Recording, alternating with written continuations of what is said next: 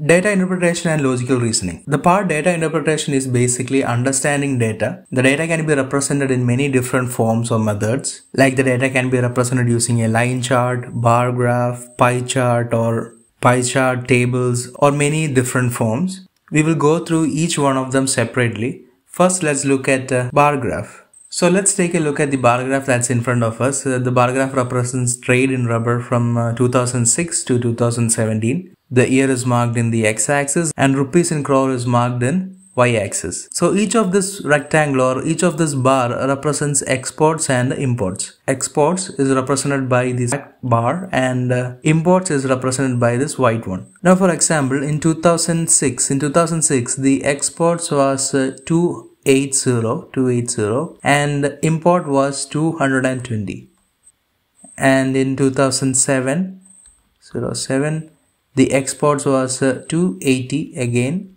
and import was 240 as you can see the first step that we are going to do is to convert this bar graph into a table. Here I have filled up the table. I have represented year here and exports and import so it is very important that you draw this table so that it's easier for you to do the problem as we move forward. There are five questions in this session so having a table will help you solve this question much faster. Now we go to the questions. Question number one, average annual exports for the given period 2006 to 2017 was approximately. So to find the average, all you have to do is to add all the exports and then divide it by the number of years. The number of year is from 2006 to 2007 it is uh, 12. So let's add the exports 0 and here it will be 2, 3, 5, 6, 8, sorry 9, 17, 25, 25,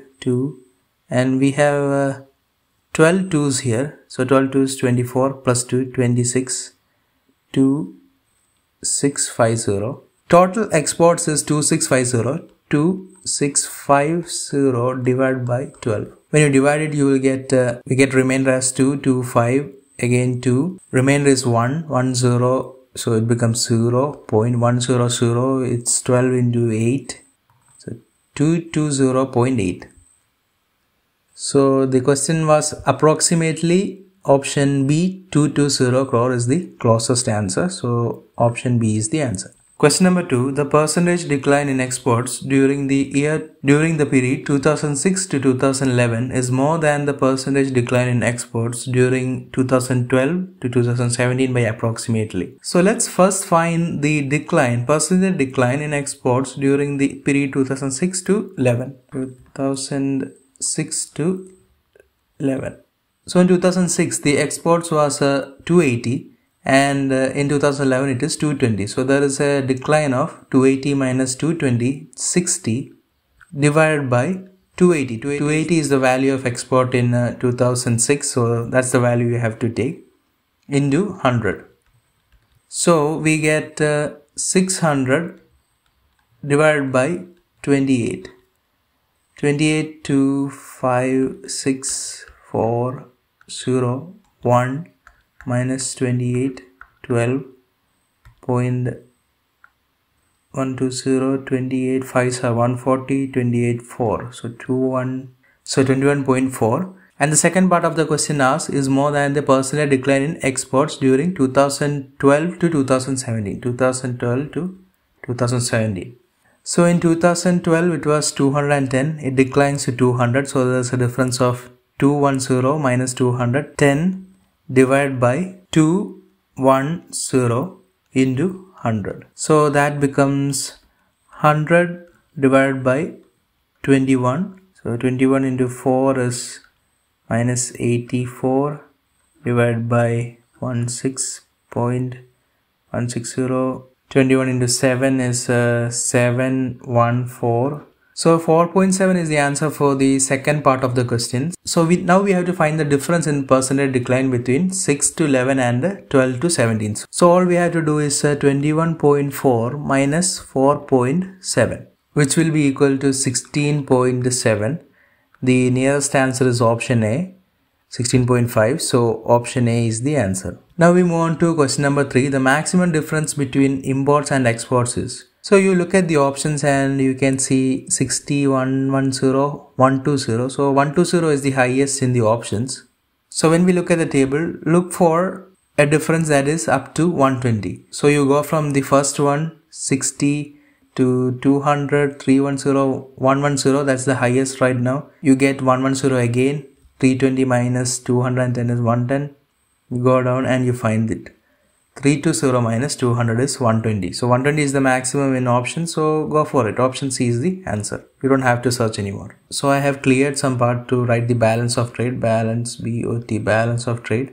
So from 2007 to 2009 so export minus import in 2007 is 40 in uh, 2008 is minus 30 in 2009 it is minus 70 next in option d 2010 to 2012 so minus 110 minus 70 minus 110 next is option c 2014 to 2016 it is minus 120 minus 110 and minus 30 and option B 2015 to 2017 15 and 16 we have already written. 2017 is uh, minus 40 now we have found the balance of trade that is export minus import for each year you must have noticed that in the question it is given as three year blocks and you are asked to find the average. We don't have to find the average because all of these are three year blocks and all of them will be divided by 3 you will get the same answer. So option A 2007 to 9 which means you have to add 40 minus 30 minus 70 you will get uh,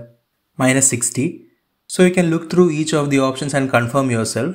I think you already got the answer. If you look at the options 2010 to 2012 is the largest minus 110 minus 70 minus 180 minus, uh, 290 so you can check for others none of this is uh, greater than minus 290 so 2010 to 2012 has witnessed the largest average negative balance of trade. So option D is the answer.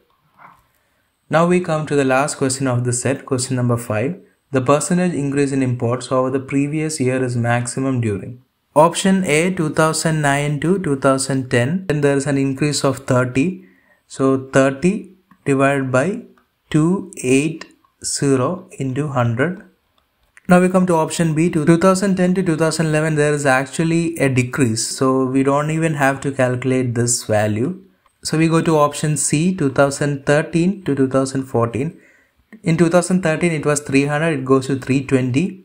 320 minus 300 20 by 300 into 100. Option D 2008 to 2009 in 2008 it is uh, 260 it increases to 280. So 280 minus 260 20 divided by 260 into 100. So we have right now four values here. Out of this when you compare 20 by 300 and 20 by 260 you can see that the denominator is less. Out of this when you compare 20 by 300 to 20 by 60 you can see that there is a difference in denominator. The numerator remains the same but the denominator is less here.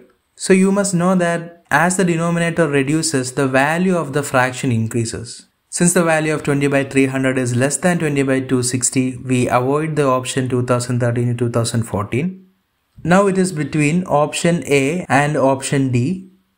So option A is uh, 300 divided by 28 and option B and option D is 200 divided by 26. So before proceeding further, you can see that 28 into 10 is 280. So this value is greater than 10 and 26 into 7 is less than 200. So this value will be somewhere around 7 plus. So option A 2009 to 2010 is the answer here.